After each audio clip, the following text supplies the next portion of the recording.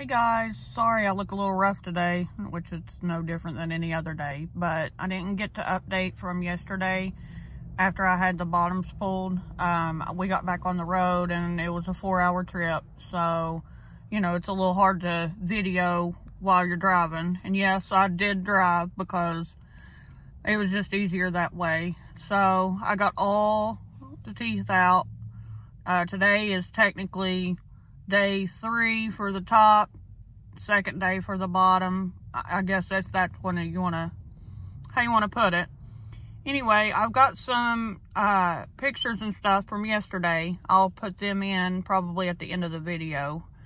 And I just wanted to give a quick, quick little update. I'm not in a lot of pain. Uh, I did do the chlorhexidine rinse that they give you this morning. Uh, it wasn't too awful. It, I just kind of leaned my head from side to side to not swish it in my mouth. But uh, pain-wise, it's just uncomfortable. Um, I, like I had said in a previous video, I'm not on any, any pain medication.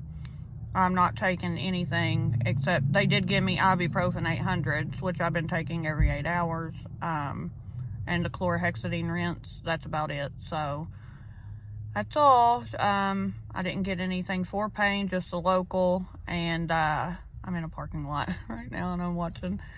Uh, I just got the uh, regular, you know, local anesthetic and that was it.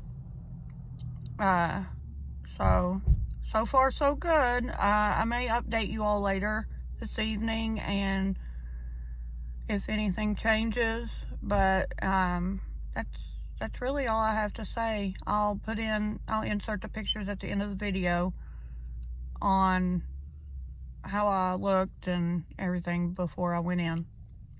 So, thank you all for watching and thank you all for such great comments and well wishes and everything. I really appreciate it. I'm it's so hard to talk without any teeth. So I'll show you the end of it. I don't want to do it in a parking lot. It's so weird. Uh, I'll show you what it looks like healing.